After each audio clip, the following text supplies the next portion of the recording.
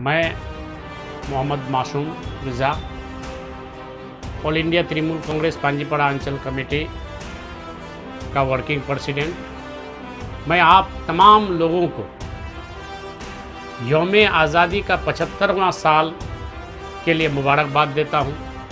साथ साथ हमारे आने वाले जो जनरेशन है, जो न्यू जनरेशन है, जो यूथ है, इन तमाम लोगों को मैं ये कहना चाहूँगा, एक पैगाम देना चाहूँगा कि मेरे प्यारे नौजवान साथियों प्यारे बच्चों हमारे जितने भी अवाम हैं उन लोगों को इस बात की जानकारी की ज़रूरत है कि आज पचहत्तरवां साल में जब हम योम आज़ादी मना रहे हैं तो ये आज़ादी कोई माने एक आ, सिर्फ़ पर्व बन के नहीं ये हमारा राष्ट्रीय पर्व है।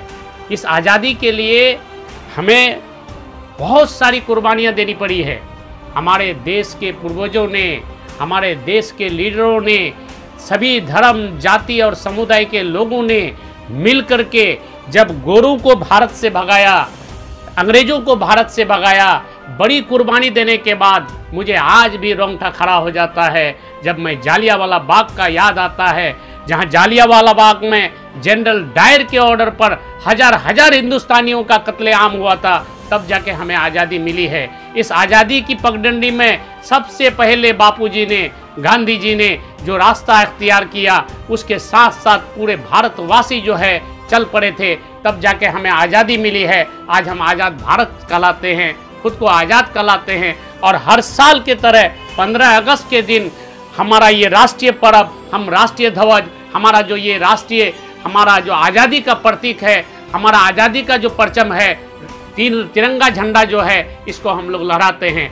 लेकिन यूथ से कहना चाहेंगे, हमारा जनरेशन पचहत्तर साल हो गया है हमें आज़ादी का।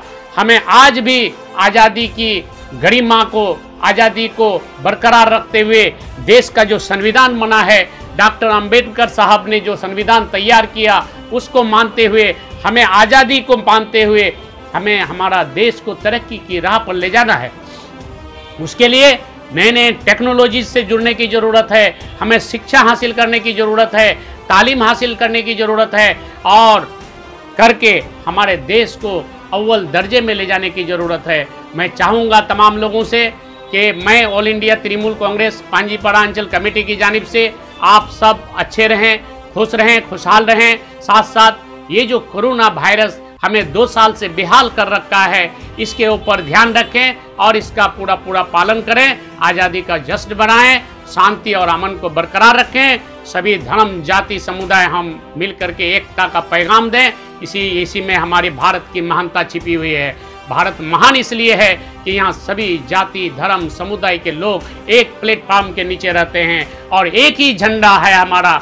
हमारा वो है राष्ट्रीय झंडा, तिरंगा झंडा। जिसको आज अभी हम लोग थोड़ी देर पहले लड़ाए हैं। तो राष्ट्रीय गर्व, राष्ट्र की गरिमा को बचाए रखने के लिए आप तमाम लोगों से मैं अपील करता हूँ स्वास्थ्य रहें, सुखी रहें, शांति रहें, अमन से रहें। धन्यवाद, शुक्रिया।